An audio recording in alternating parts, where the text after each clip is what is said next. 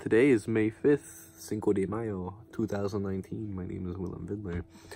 Um, it is currently 10.30. It was Aiden's birthday today and her boyfriend Adam. So shout out to Aiden and Adam. Happy birthday.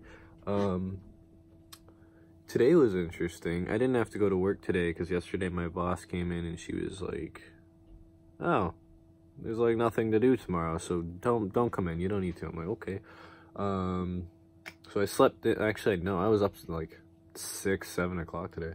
Um, I didn't do a lot today, to be perfectly honest. Uh, I did, however, make a purchase. Oh, yeah. So that ramen and the melodica showed up today. Uh, but who cares about that? I made a different purchase. I stupidly decided to buy a PlayStation Vita. Uh, and I bought it. The guy gave me a couple bucks off because you know he was because I had to buy the memory card too. He's like, you know, I don't really want to charge you forty dollars for this shit, so he gave it to me for like thirty something.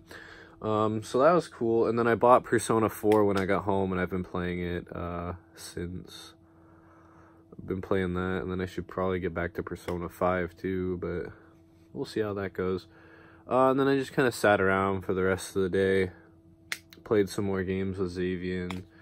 The, a lot of the servers were down though for a lot of things for some reason, so we didn't get to play that much. Then I went out for ice cream again with Darcy. Um,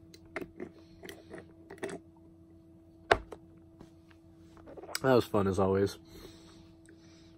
Um, yeah, no, that was basically it for today. Today was not much more interesting than yesterday, but whatever.